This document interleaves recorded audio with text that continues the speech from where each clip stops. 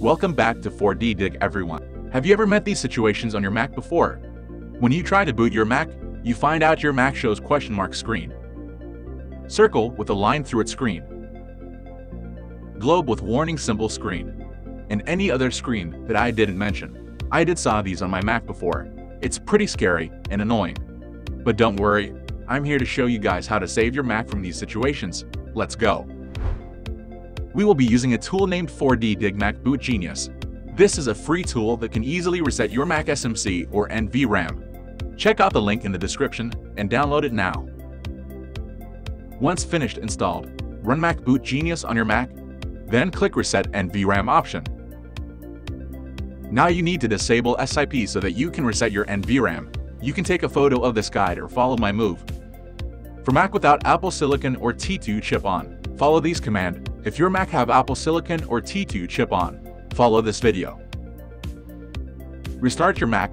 When screen turns black, press Command and R key until Mac enter recovery mode. Once get in here, expand Utilities option and click Terminal. Enter this command and press Enter. Then click Apple icon and restart your Mac.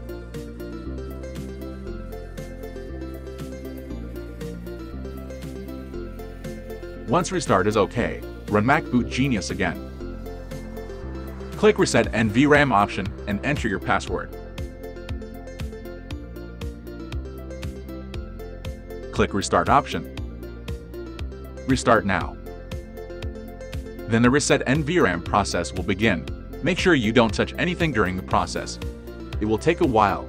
Be patient and relax. Then you can see my Mac is reset completed. I can access my Mac without any problem, my startup screen issues are gone, and all my data are still there. Go try it yourself, it's free. Okay, that's it. I hope this video was helpful to you. If you have the chance, please consider subscribing. See you guys next time.